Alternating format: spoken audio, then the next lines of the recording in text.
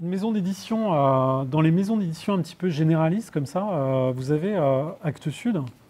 Actes Sud, c'est intéressant de, c'est un peu de revoir un petit peu sa, naissance.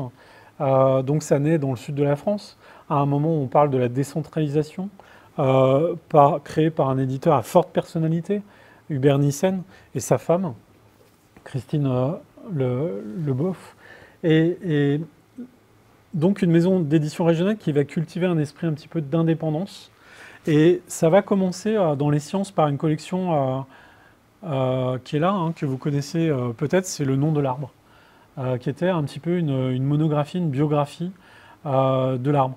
Mais après, ils vont s'intéresser à la permaculture, ils vont s'intéresser à tout un tas de sujets, et ils vont petit à petit créer tout un tas de collections spécifiques.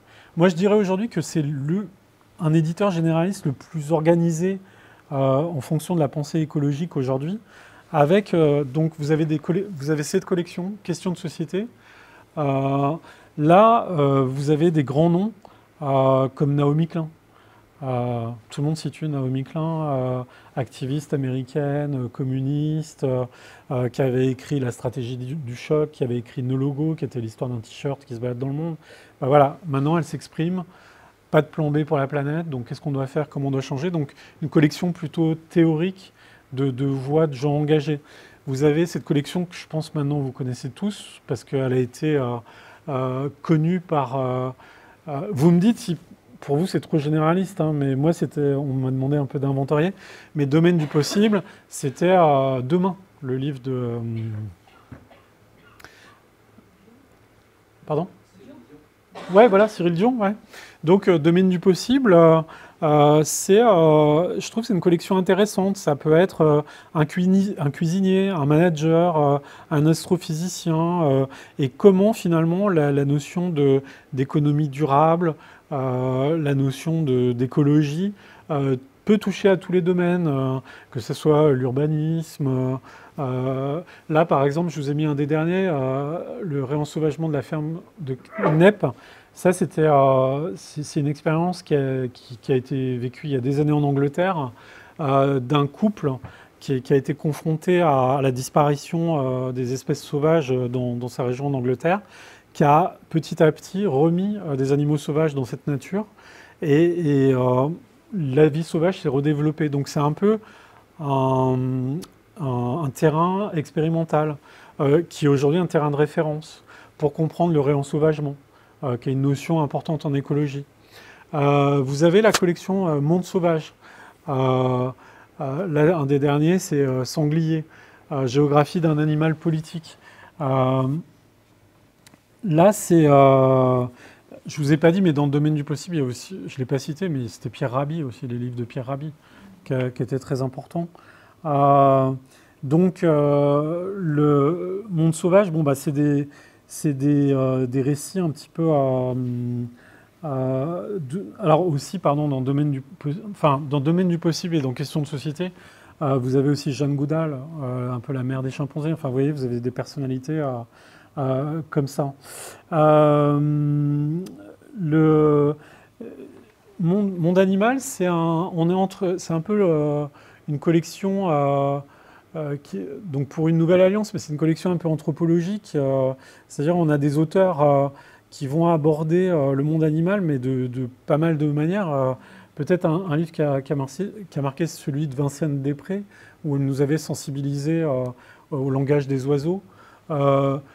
Mais voilà, c'est à travers un animal, à chaque fois, quel est le lien que peut avoir, quels, sont les liens qui se tissent entre l'homme et l'animal euh, et, qu'est-ce qu'on peut comprendre du monde animal de, son langage. La, dernière collection euh, en date euh, d'Actes Sud, c'est celle-là, Voix de la Terre, qui est parue cette année. ça, c'est enfin, je, trouve que c'est très intéressant, mais c'est un petit peu pointu. Hein. Donc, elle est née en avril 2022. Il y a déjà quatre titres parus. c'est des récits anthropologiques. Euh, donc, par exemple, les, premiers euh, récits étaient des récits euh, chamaniques et comment le, chamanisme entretenait une relation avec la nature et, comment elle méritait un petit peu de à travers ces récits, comprendre un savoir-être, un savoir-vivre avec la nature. Donc, euh, c'est des entretiens, c'est des discussions euh, avec des personnalités, c'est euh, des anthropologues qui s'entretiennent avec des, personnalités. Vous avez eu cette collection chez Actes Sud, Je passe à l'acte, collection un petit peu pratique de comment on peut, comme ça, dans la vie de tous les jours, bah, agir de, de, son côté. Vous avez la collection cette petite collection qui est là, euh, que je trouve intéressante aussi, euh, et dont j'oublie le nom à chaque fois, qui sont des tout petits textes.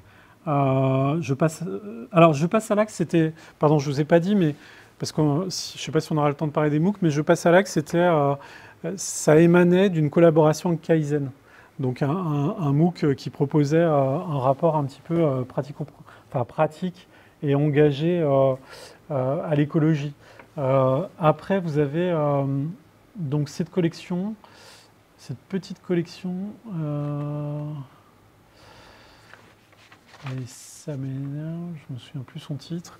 Mais voilà, qui, sont des petits.